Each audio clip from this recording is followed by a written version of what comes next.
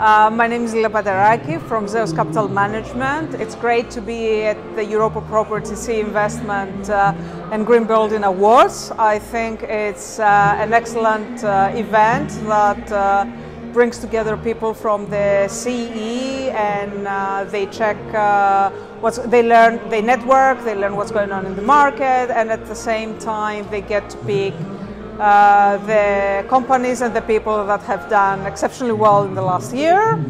Uh, very well organized event.